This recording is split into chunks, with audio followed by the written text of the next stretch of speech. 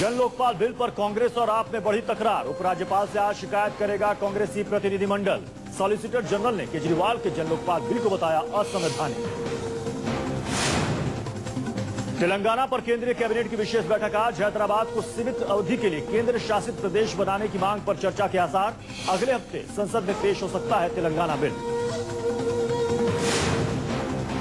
झारखंड में कांग्रेस उपाध्यक्ष राहुल गांधी का रोड शो आज। हजारीबाग से रांची तक 75 किलोमीटर का सफ़र तय करेंगे राहुल। रोड शो के ज़रिए जनता तक पहुँचने की जुगत में कांग्रेस उपाध्यक्ष।